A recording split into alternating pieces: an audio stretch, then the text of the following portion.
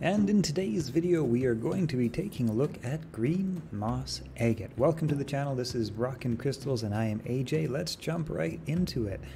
So, green moss agate is considered a good stone for wealth. It helps with the growth of new crops. This stabilizing stone is connected to nature and said to refresh the soul and allow you to see beauty all around you. It is a stone of wealth and attracting abundance. Green moss agate is good for cleansing and for detox. The stone helps to speed up recovery and can be used to counteract long term illness. It is good for digestion, inflammation, the circulatory system, the eyes, and the immune system.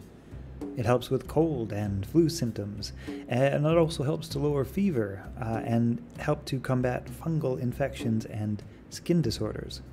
It helps with anxiety, with stress, and tension by releasing trapped emotions. This crystal helps to improve self esteem, and it also helps you to connect more with your intuition.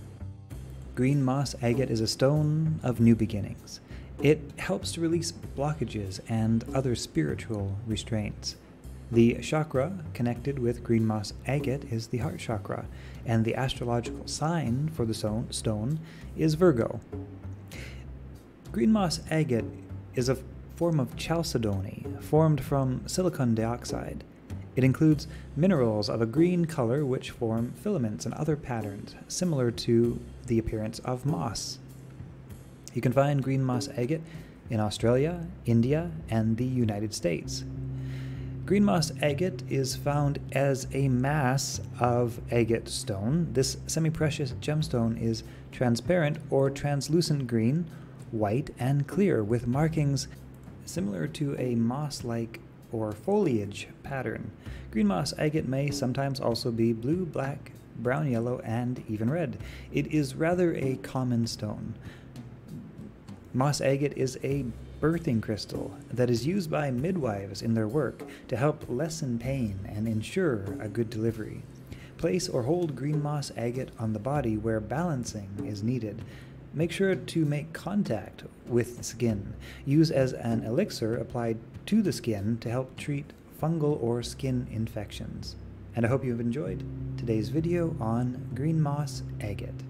Consider dropping a like on this video if you liked it. It really helps this channel to grow and subscribe if you're interested in learning more about crystals because we are going to be talking about different crystals every single day. And if you're looking to buy crystals and gemstones, check out our Rock'n Crystal shop linked in the description below. It definitely helps to support this channel when you shop for crystals at our shop. And lastly, we are doing a crystal giveaway from our Rock'n Crystal shop every time we upload a new video you are allowed to enter into our crystal giveaway contest.